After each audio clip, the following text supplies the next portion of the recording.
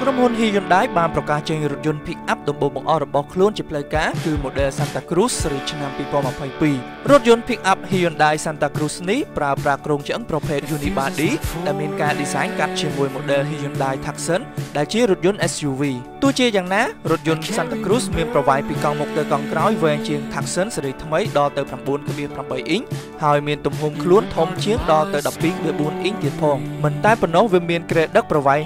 52.1អ៊ីងបើប្រៀបធៀបទៅ Santa Cruz ខ្លីជាង Nissan Frontier តែ7អ៊ីង Toyota Tacoma 8អ៊ីងនិង Honda Ridgeline 11អ៊ីងប៉ុណ្ណោះហាហាលេងហ្គេមដ៏សប្បាយ .com មានឱកាសឈ្នះសម្បត្តិគុណ 4DX និងគូប៉ុងអាហារជាច្រើនសន្លឹក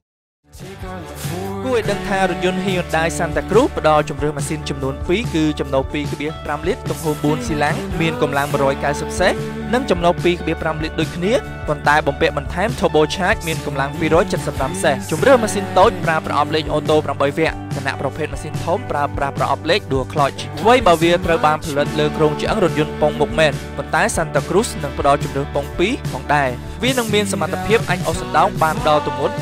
2260គីឡូក្រាមបន្ថែមពីនេះ Santa Cruz មានបំពាក់កុងទ័រទំហំដល់10អ៊ីងនិងអេក្រង់កម្សាន្ត10អ៊ីងដូចគ្នាព្រមទាំងមាន option ប្រព័ន្ធសំឡេង Bose ពូកស្បែក កន្លែងដាក់អីវ៉ាន់ក្រោមកៅអីក៏ដូចជាមុខងារសុវត្ថិភាពជាច្រើនរួមទាំង forward collision avoidance lane keep assist driver attention warning blind spot warning blind spot camera safe exit assist highway drive assistant surround view monitor និង rear cross traffic alert ទៀតផង